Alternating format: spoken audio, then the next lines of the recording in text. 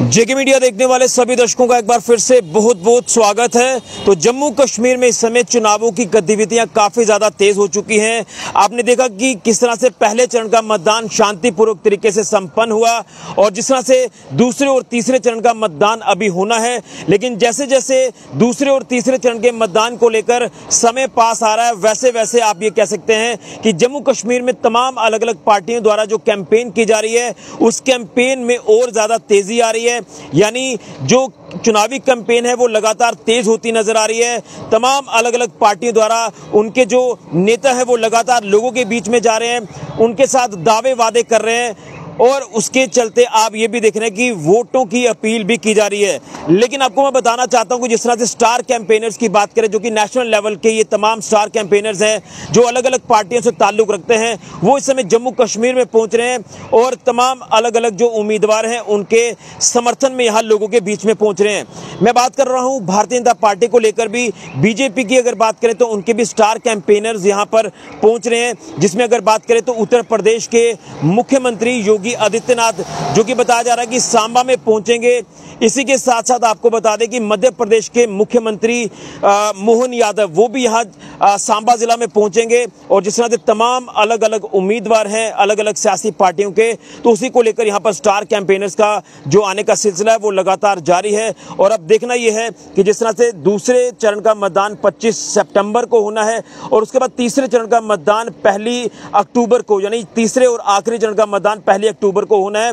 तो उससे पहले लगातार एडी चोटी का ज़ोर लगाया जा रहा है हर पार्टी की तरफ़ से और लोगों के बीच में उनकी ये कोशिश है कि ज़्यादा से ज़्यादा जाया जाए और अपनी पैट बनाई जाए। लेकिन जिस तरह से बीजेपी के स्टार कैंपेनर्स यहाँ पर आ रहे हैं अगर बात करें कांग्रेस पार्टी के या अलग अलग जितनी भी सियासी पार्टियाँ हैं नेशनल कॉन्फ्रेंस है पीडीपी है इनके तमाम स्टार कैंपेनर्स जो हैं वो अपने अलग अलग इलाकों में इस समय पहुँच रहे हैं। उम्मीदवारों के स, अपना समर्थन उनको दे रहे हैं। लेकिन अगर बात करें तो योगी आदित्यनाथ जो कि उत्तर प्रदेश का एक बहुत बड़ा नाम जिसमें हम ये कह सकते हैं कि मुख्यमंत्री योगी आदित्यनाथ जिस तरह से लोग जो है वो काफ़ी ज़्यादा उनसे प्रभावित हुए हैं तो लोग उनको सुनने के लिए काफ़ी बेताब हैं।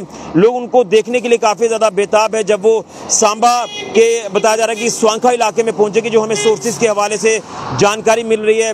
इसी के साथ साथ अगर बात करें तो मोहन यादव, जो मध्य प्रदेश के मुख्यमंत्री हैं, वो भी बताया जा रहा है कि सांबा जिला के घगवाल में पहुँचेंगे।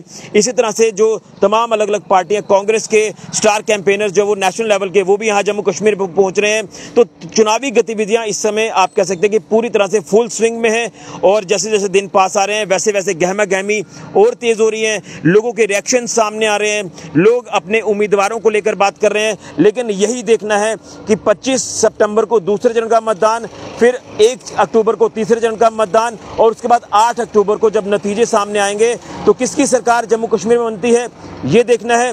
और तमाम आपके अलग अलग जो कॉन्स्टिट्यूंसीज हैं, जो इलाके हैं, वहाँ से कौन एमएलए जीतकर असेंबली में पहुंचेगा और आपके इलाके की बात रखेगा, ये देखना होगा। लेकिन पूरी तरह से आप कह सकते हैं कि चुनावी मूड जो है इस समय काफ़ी ज़्यादा इस समय आप कह सकते हैं कि स्विंग में है और लगातार अलग अलग स्टार कैंपेनर्स तमाम अलग अलग उम्मीदवारों के समर्थन में यहाँ जम्मू कश्मीर में पहुँच रहे हैं और असेंबली इलेक्शंस 2024 जो कि 10 साल के बाद ये विधानसभा चुनाव जम्मू कश्मीर में होने जा रहे हैं।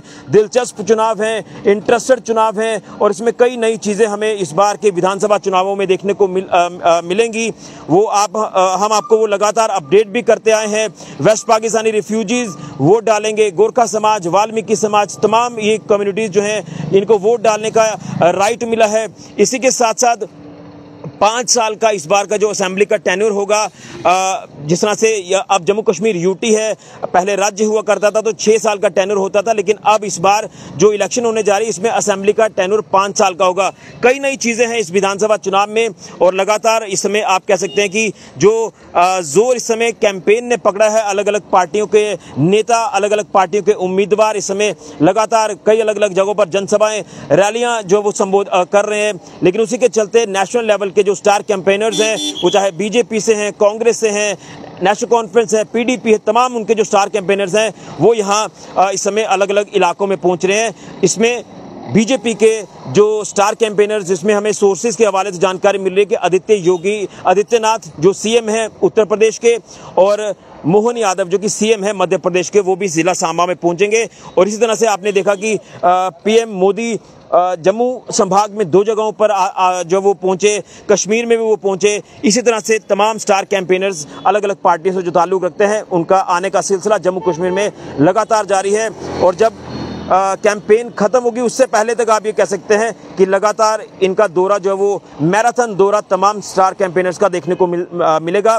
तो ये गतिविधियाँ अभी चुनावी गतिविधियाँ काफ़ी तेज़ हैं। देखिए आज जो है बीस तारीख हो चुकी है और अभी दूसरे चरण के मतदान को लेकर मात्र चार दिनों का समय बचा हुआ है। तो इसी तरह से एड़ी चोटी का ज़ोर हर एक उम्मीदवार लगाता नज़र आ रहा है। यही कहूँगा, देखना यह है कि जम्मू कश्मीर में 10 सालों के बाद किसकी सरकार बनती है, कौन एमएलए असेंबली में पहुंचेगा और अपने इलाके को रिप्रेजेंट करेगा। गतिविधियाँ इस समय काफ़ी ज़्यादा तेज हो चुकी है जम्मू कश्मीर में चुनावों को लेकर। फ़िलहाल ऋषि को जुड़िया जेके मीडिया के लिए।